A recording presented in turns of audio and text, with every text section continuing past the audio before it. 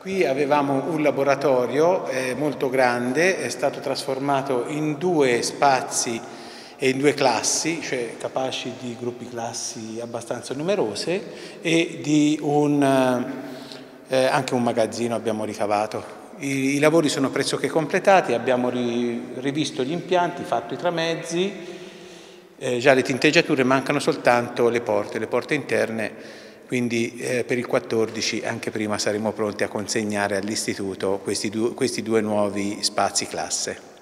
Si buttano giù muri, si costruiscono tramezzi, si rimodellano gli spazi. È il vicepresidente della provincia di Arezzo, Angelo Piomboni, a guidarci all'interno degli istituti superiori aretini, dove l'ente ha realizzato lavori per oltre un milione di euro, tutto per adeguare le scuole, alcune in edifici storici, alle norme anti-Covid. Qui ci troviamo all'interno dell'Istituto Buonarroti. Sì, ecco, questo per esempio è un locale che adesso è diciamo, un locale idoneo a gruppo classe che permette anche agli studenti di avere quel distanziamento che il Covid ci impone.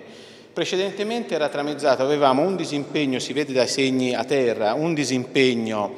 in questa zona che eh, dava accesso a due stanze che però non potevano contenere nessuna delle due un, gruppo classe effettivo. Quindi ecco, eh, sono lavori che sicuramente non sono soltanto, sì, oggi si fanno in emergenza Covid, però eh, daranno risposta anche in futuro e quindi non sono lavori dovre, eh, ai quali dovremmo rimettere mano. Insomma. Lavori che l'ente ha potuto realizzare grazie ai propri fondi e a quelli messi a disposizione dal governo centrale. Tra i fondi che sono arrivati per l'emergenza Covid e gli oltre 380 mila euro che la provincia ha messo di proprio bilancio si parla di interventi di oltre 1 milione e 180 mila euro, quindi interventi importanti sia di adeguamento legato al Covid ma anche dal punto di vista poi di rifacimento degli infissi, di miglioramento della situazione energetica, di messa in sicurezza, quindi interventi importanti perché ricordiamo ricordiamo che la maggior parte delle scuole superiori generale d'Italia sono scuole degli anni 70, quindi hanno bisogno di una manutenzione particolare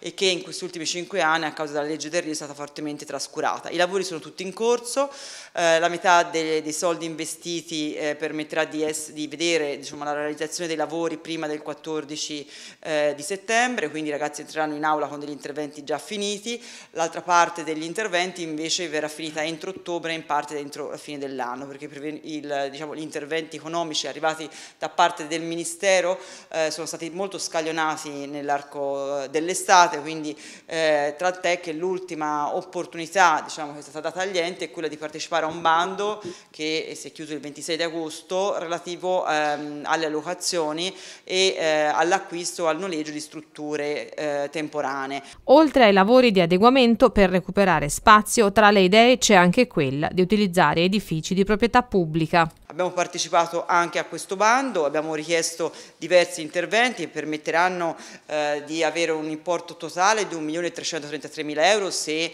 ci verrà diciamo, eh, acconsentito tutto quello che noi abbiamo richiesto. Questo permette di rispondere alle esigenze che sono state segnalate dai dirigenti scolastici, i quali secondo direttiva ministeriale prevederanno una didattica mista, quindi in presenza in parte a distanza, secondo però della, eh, della, diciamo, della, della volontà dirigenziale dirigenziale in base naturalmente alle eh, disponibilità degli spazi eh, che, eh, che, hanno e alle modalità che hanno ritenuto naturalmente a loro giudizio eh, più idonee. Però eh, è fondamentale pensare che il 14 si rientra tutti a scuola e che ci si rientra in una modalità sicuramente diversa con tutta una serie di misure di, di sicurezza anche oltre a degli interventi eh, fondamentali perché sappiamo quanto sarà delicato quest'anno la ripartenza.